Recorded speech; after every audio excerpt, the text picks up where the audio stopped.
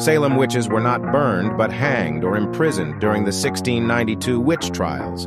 The common belief in witches being burned comes from European witch hunts, not the Salem events. Accusations, mass hysteria, and flawed justice led to tragic outcomes, but burning wasn't a method used in colonial Massachusetts.